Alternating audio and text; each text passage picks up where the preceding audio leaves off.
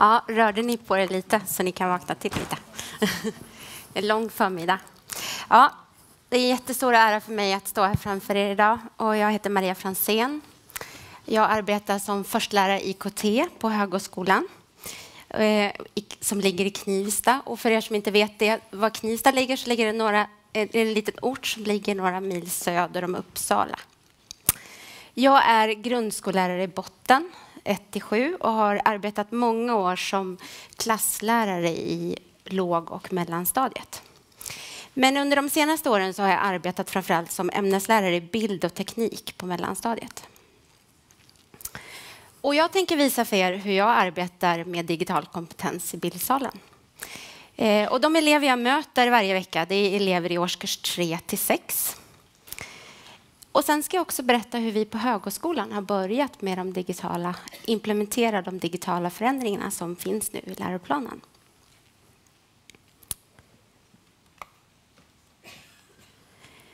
Eh, jag har under många år nu redan arbetat med datalogiskt tänkande i bildsalen tillsammans med mina elever. Och det är just de övergripande mål och riktlinjerna som ligger till grund för att jag har kunnat gjort det. Eh, jag tänker att alla ämnen ska ju arbeta för att nå de här övergripande mål och riktlinjerna och det ska ju genomsyra skolans all undervisning. De här förändringarna som vi står inför, huvuddelen att utveckla den digitala kompetensen finns ju som förut i kapitel 1 och 2. Men vissa delar har förstärkts och tydliggjorts och vissa delar har förstärkts ytterligare i vissa kursplaner. Så om man tänker att olika ämnen har fått tagit olika ansvar för eh, delar av digitaliseringen beroende på ämnets karaktär. De här läroplansförändringarna de träder i kraft eh, nu 1 juli, som Peter redan har berättat om. Eh, och det, det är de nya och de gamla målen som vi nu arbetar mot i bildsalen. Jag kan inte börja prata om min undervisning utan att börja här. Och det handlar om Marias bildtorg. För det här är liksom navet för all undervisning. Eh, här är som vår digitala anslagstavla. Vi samlar allt material vi jobbar med varje vecka. Eleverna skriver under bloggdelen om sina lärprocesser, om sitt lärande. De publicerar färdiga arbeten. Men det är också här som jag skriver, under arbetsområdena, så skriver jag ner lektionsplaneringar, samlar allt material vi arbetar med under eh, lektionerna. Och jag skriver också ner vilka mål och förmågor vi ska träna under lektionernas gång.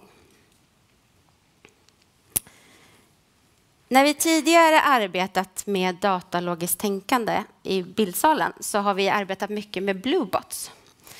Eh, och på golvet framför er nu så, så ser ni eh, Bluebots-uppdraget Skattkistan. Eh, eleverna har producerat bilder som ni ser framför er. Den där blåa, lite otydliga som är fram i bilden, det är ett havsdjur. Och de här bruna mot mitten, det är skattkistor. Det här spelet går ut på att eleverna ska ställa Bluebot på startpositionen på havsdjuren.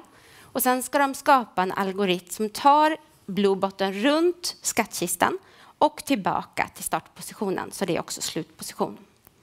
Och till sin hjälp för att skapa den här algoritmen så har de haft penna och papper, linjaler och självklart måttband. Och det eleverna vet innan det är att Bluebotten tar sig 15 centimeter per tryck framåt eller bakåt. Men svänger den så rör den sig inte, den bara roterar runt sin egen axel. Eh, när vi gjorde det här första gången så var det faktiskt ingen som lyckades genomföra den här uppgiften i klassrummet. Och vi analyserade gemensamt vad som gick fel i de här algoritmerna och vad man behövde förbättra inför nästa programmering. Det här tycker jag blev en så skön lärdom över att allting behöver faktiskt inte vara okej och lyckas från början. Eh, och det är ju faktiskt så som programmerare just arbetar. Att pröva och ompröva sin programmering tills man lyckas med det man har tänkt sig från början. Vi ska titta på ett sånt här klipp när eleverna arbetar. Och jag tänker att ni kan lyssna på sålet när de arbetar och sen tystnaden under redovisningstillfället. En sväng till höger. Blir det väl? Två till? Ja. Nej, höger. Vänster blir dit. Men från ditt håll Håll ditt finger där.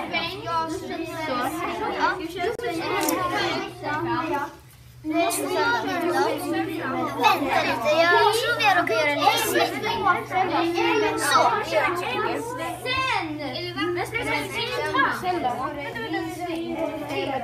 Det går två.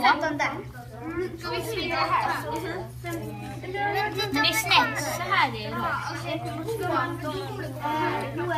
Ta, ta två. Ta två. En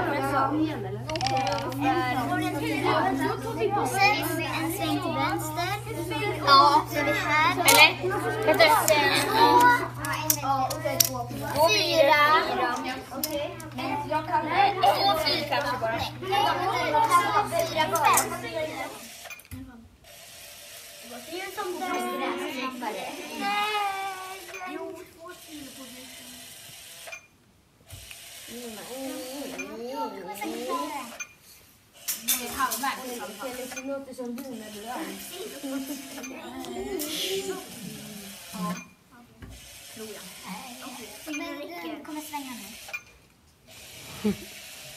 Jag vet inte. Jag är säker på att den här kommer klara det. Okej, jag ska springa snart. snart. Jag vet inte nu kommer svänga. Yes, nu kommer den. Det låter snett, det låter snett, det låter snett. Det därför den inte kommer klara det. Jo, det kommer det? Jo, den kommer klara det. Mm. Yes. yes. Ja, det här är ett gammalt klipp. Det här gjorde vi för tre år sedan. Men, och det här är så fantastiskt med det här. Det är därför jag visar det igen. För det här möter vi varje dag. Vi står i våra klassrum, vi som är lärare. Elever som lyckas, den här glädjen över att verkligen lyckas med någonting. Eh, men det är så sällan vi lyckas filma det på, så att vi ser det direkt, den här lyckan. Så därför så får klippet visas igen. Jag tycker det är värt att ses. Eh, jag upplever att eh, tekniken, när vi plockar in tekniken på det här sättet så upplever jag att det är så otroligt lustfyllt för mina elever.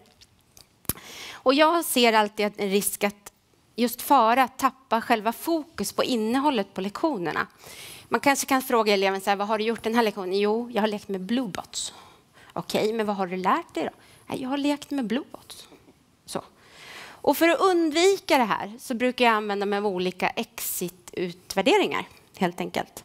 För att inte jag ska tappa fokus på de begrepp och det jag vill att mina elever ska träna. Det kan till exempel vara så att jag ställer en fråga till eleverna. Vad är en algoritm? Och så svarar de. Och så går jag till nästa elev. Vad är en algoritm? Och så svarar nästa elev. Och på så sätt så får jag dem att nöta begreppen och säga dem, säga dem själva. Säga de svåra orden helt enkelt. Men det kan också vara så att eleverna ställer frågan till mig. Maria, vad är en algoritm? Jo, men jag tror att du har testat det. Det är som en exakt instruktion. Och så frågar jag till nästa. Vad är en algoritm? Jo, men har du bakat någon gång? Och så fortsätter jag runt om så här. Och det här är någonting som eleverna tycker är otroligt lustfyllt, men som gör att jag bara matar, matar, matar begreppen. Och på så sätt så säger de oftast inte vad har du lärt dig idag, utan de säger vi har tränat algoritmer. Jag har samarbetat en del med vår idrottslärare under de senaste åren också, Elon, eh, i datalogiskt tänkande.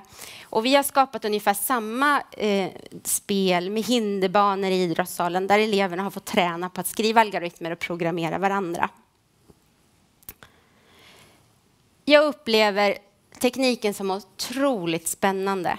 Och mina tankar snurrar ofta kring hur ska jag kunna använda teknik så att den förbättrar min undervisning för eleverna och att jag når en högre måluppfyllelse och bidrar samtidigt med att skapa ett mer lustfyllt lärande. Att söka de här nya pedagogiska metoderna med hjälp av teknik som pedagogiskt verktyg, det är för mig otroligt spännande. Under förra hösten så gick jag och funderade på hur jag skulle kunna sammanföra konst och konsthistoria och bildanalys tillsammans med eh, datalogiskt tänkande och digitalt skapande. Och bildanalys och konsthistoria, det är de här som kan kännas lite tunga delarna i bildsalen. Och precis som när jag gick och tänkte hur ska jag få till den här undervisningen så släppte Nationalmuseum 3000 högupplösta bilder på nätet. Och det här kändes ju bara wow, vad häftigt. Jag satt och bläddrade i de här bilderna. Och vad skulle jag välja? 3000 bilder, det är ganska mycket. Eh, och jag kunde inte kategorisera det så att jag fick ner det till något bra. Så att, nej, jag behövde hjälp. Så jag skrev ett brev till Nationalmuseum helt enkelt och bad dem om hjälp. Och det här ledde faktiskt till ett samarbete. Eh, och samarbetet gällde tre klasser i årskurs fyra och nu går de i årskurs fem. Helena från Nationalmuseum hon hjälpte mig att sortera, kategorisera konstverken. Och de blev i tre teman, en till varje klass. Det blev i teman porträtt, djur och sagor och myter. Och det här projektet det fick heta Låt konsten tala, för det är just det vi hade tänkt att den skulle få göra, bidra till att låta konsten tala. Under det här projektet så arbetar eleverna i par. Och det går ut på att skapa en bildanalys, som ni ser framför er just nu, av ett specifikt konstverk. De här bildanalyserna hade tidigare kanske hamnat i någon fin liten mapp eller så kanske de hade hamnat i någon låda, eller i värsta fall faktiskt i sopkorgen. Men tack vare att vi har vår... Marias bildtorg idag så hamnar de här bildanalyserna direkt på webben. Och det blir någonting som alla kan se. Och det här upplever jag är enorm betydelse för eleverna i skolan. Deras arbete blir värdefullt utanför bildsalen. Och skolan och arbetet blir faktiskt viktigt på riktigt. I vanliga fall kanske jag hade stannat här med bildanalyserna, men vi ville ju att den här konsten skulle få kunna presentera sig själva. Och för att vi skulle kunna presentera konsten så använde vi oss av Scratch. Hur många vet vad Scratch är för någonting? Oj, det var jättemånga. Härligt. Ja, för er som inte vet vad Scratch är så är det ett blockprogrammeringsprogram som finns online gratis. Eh, och det här har vi arbetat med genom att plocka in konstverken i just det här eh, programmeringsverktyget. Så framför er så ser ni nu drottning Kristina, konstverket Drottningen Kristina. Och där Kristina är på bild, det är själva spelet som så småningom blir det visuella efter man kliver ur, ur programmerardelen här. Och under Kristina så ser ni spritar. Det är spritarna som eleverna har skapat som animationer som ska berätta om de här konstverken. Och till er vänstra sida så ser ni alla block som eleverna använt för att få rörelse på sina spritar och få göra den här presentationen.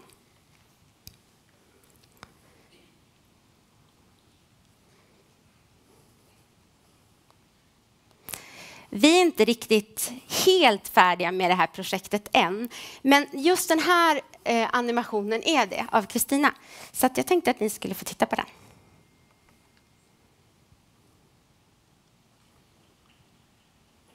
Hej!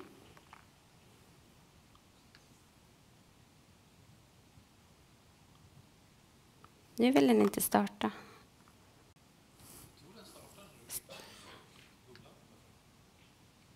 Kommer bubblan fram? Tack, jag ser inte det på min skärm. Tack.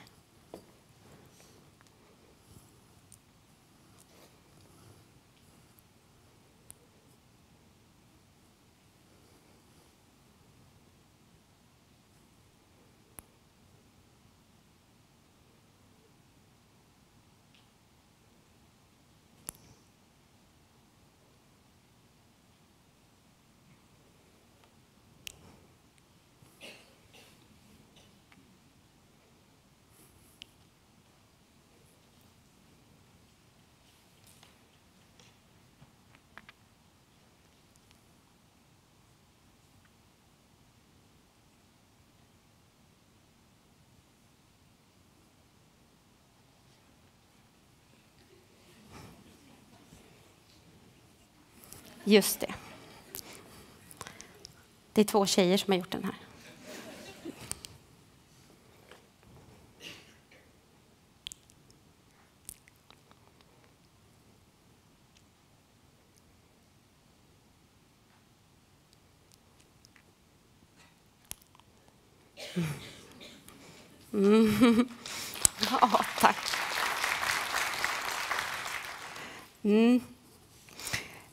Nationalmuseum de håller ju just nu på att renoveras och de slår upp portarna igen nu våren 2018. Och samtidigt kommer de att ha premiär för sin nya hemsida. Och där kommer de vilja ha mina elevers projekt. Och det här har eleverna vetat från början att vårt projekt kommer visas på Nationalmuseums hemsida. Och det här har gjort att alla har jobbat lite extra med själva presentationen. Eh, några funderade lite längre. Om eh, vi pratar en ljud så kan de som inte ser faktiskt se vad konsten vi pratar om.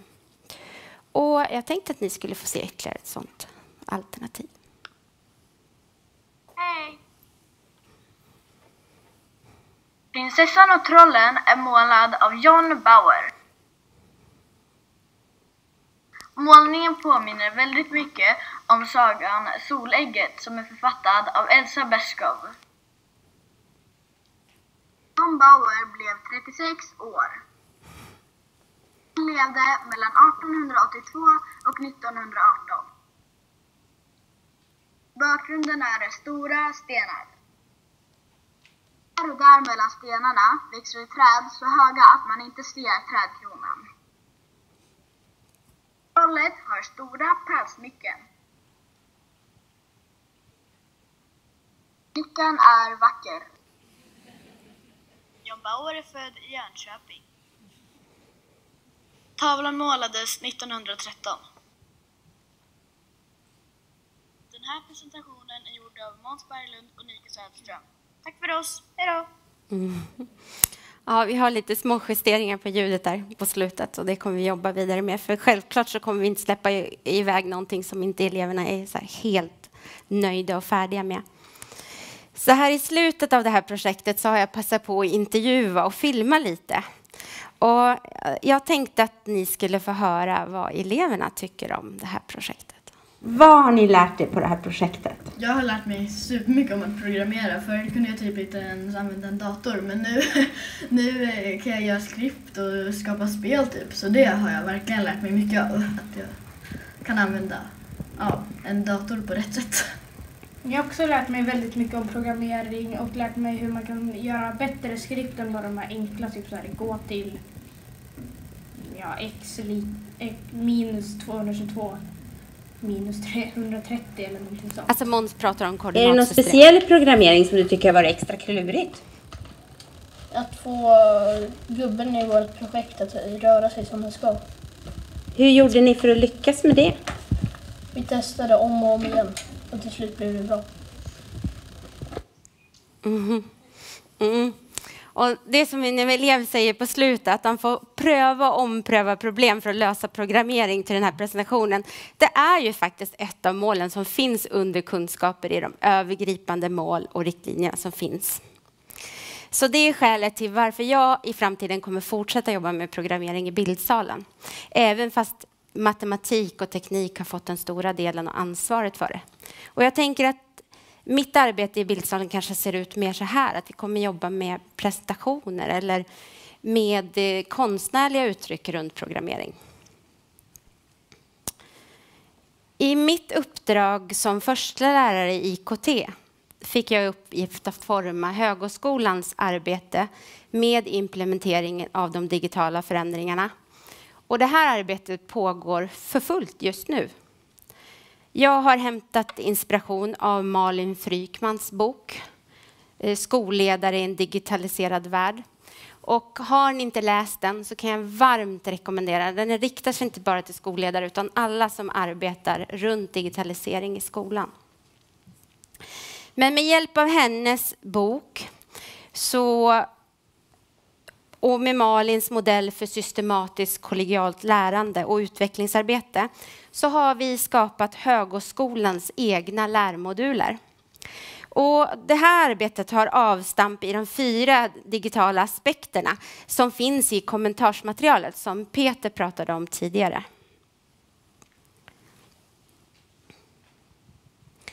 Med mig i det här utvecklingsarbetet som samarbetspartner har jag Lennart Rolandsson som är lektor i teknikdidaktik på Uppsala universitet.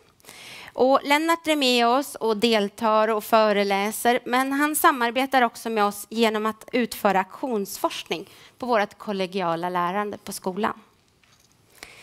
Under det här läsåret så kommer vi att arbeta med nio lärträffar där vi tillsammans diskuterar utifrån de här digitala aspekterna. Hur vi använder, vilka digitala verktyg vi använder, eh, digitala kompetenser, vad är det?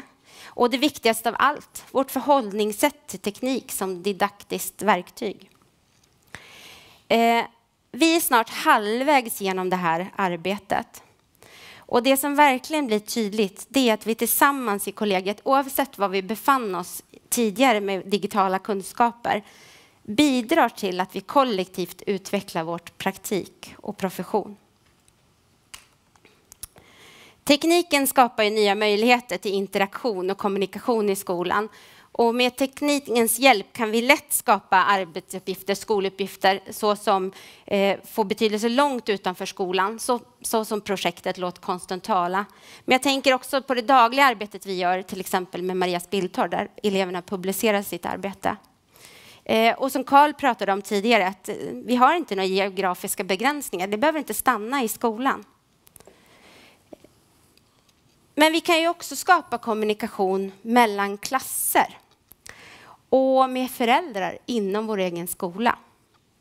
Och det här gjorde pedagogerna i årskurs 5 i höstas inför sitt föräldramöte. Eleverna i årskurs 5 fick svara på frågan vilka spel och sociala medier använder ni på internet? Och alla elever svarade och skrev in sina svar i samma dokument. Och det syns ju ganska tydligt och vi fick fram det i realtid, visuellt. Vad är det de använder mest? Jo, Youtube. Och i det här fallet så var Youtube, alla som hade svarat hade också skrivit in Youtube. Eh, och det här kan vi ju se tack vare de digitala verktygen idag. Pedagogerna de gick ett steg längre. De ställde frågan till föräldrarna sen på föräldramötet. Vilka spel och, och sociala medier använder ditt barn på internet? Och så fick föräldrarna svara. ja. Och så visar de resultatet från eleverna på, på föräldramötet. Och det här blev enormt häftiga diskussioner. Jag tänker att vi har ganska många som eh, spelar GTA 5 till exempel, när man är 11 år. Jag tänker att när vi som arbetar i skolan tillsammans tänker utvecklar och tar tillvara teknikens möjligheter och sen sprider sådana här lyckade exempel eller mindre lyckade erfarenheter med teknik som pedagogiskt verktyg så leder det fram till framgångsrika exempel. Och då kan digitaliseringen verkligen ta fart. Ett förhållningssätt till teknik kan inte växa fram utan att vi faktiskt laborerar med och utvecklar hur vi med hjälp av teknik eh, kan utveckla undervisningen tillsammans. Eh, vi tycker om att dela med oss. Eh, och vi vill dela med oss inom skolan, men vi vill också göra det utanför skolan. Och allt arbete som vi arbetar med i den här implementeringen finns samlat på en webb som heter Högskolan. Eh, det ni ser framför er nu det är Högskolans startsida. Där skriver vi om aktuella saker vi arbetar med. Under lärträffar finns allt material samlat, vad vi gör vid de olika lärträffarna. Vad vi diskuterar, vad vi redovisar för varandra och så vidare.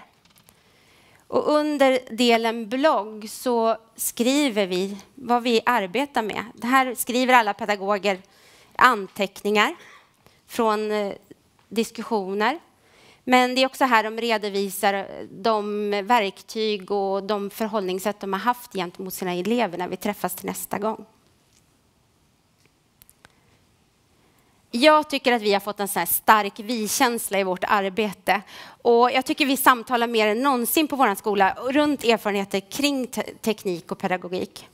Senast i fredags så var det en kille på, som arbetar på fritids som kom i förbifarten. Jag har testat, Maria, jag har testat Scratch Junior.